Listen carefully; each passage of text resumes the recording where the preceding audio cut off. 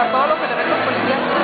Entonces, todos los niveles policíacos traerían, vestirían el mismo uniforme, sí, Incluso, nada más sería una como recategorización de policías que iniciarían con las academias como preventivos hasta terminar con la policía especializada en delitos específicos.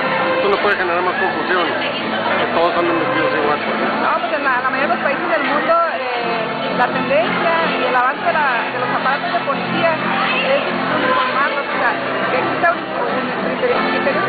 para todo, no solamente para la cuestión de los uniformes, sino también para desarrollar ciertos sistemas de organización y administración policial. Nosotros vamos a tener que hacer algo similar una vez que se apruebe y se la, la reforma de la ley general.